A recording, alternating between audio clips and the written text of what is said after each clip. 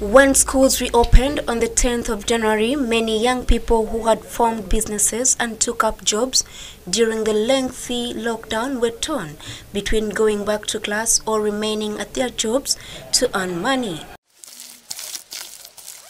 Although the government has since engaged several tactics to encourage these children to go back to school, research shows that many are still unwilling to go back to school. Now, experts have advised the government to consider reforming the education system and focus more on the skills development. At home, you've already started businesses, maybe business is doing very well, why should you go to school?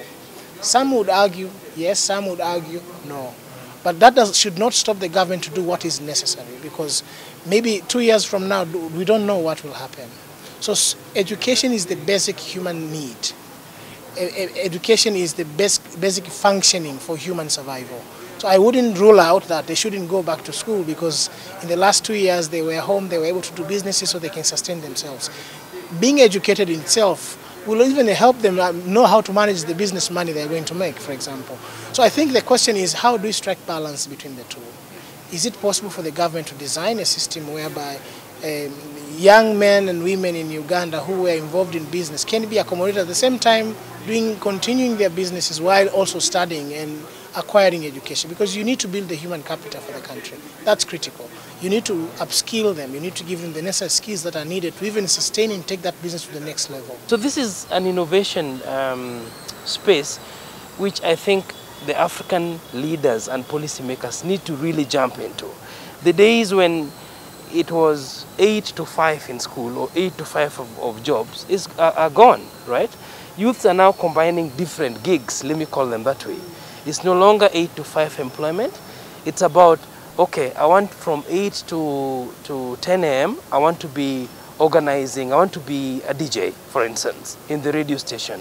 From there, I want to be looking at my crops uh, where I'm doing agriculture. From there, I want to join fellow youths in practicing a new talent that I'm looking for.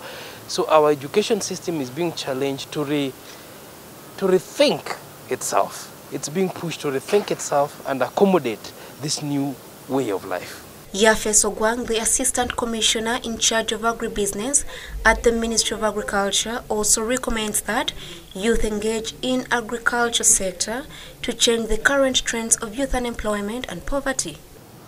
Now, how can we handle government program excluding the productive 22% of the population? And yet you know that these people are very strong.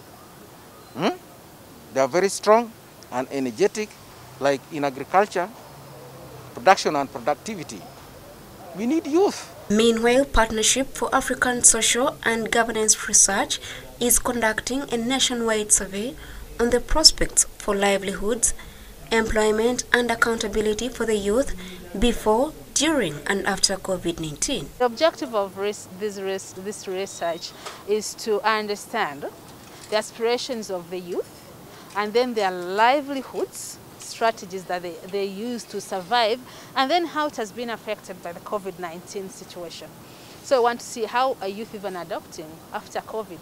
So we are looking at how the situation was pre-COVID, during COVID, and then in the post-COVID state. Yeah, that's overall, that's what we are looking at. Rachel Nachwala reporting for the news.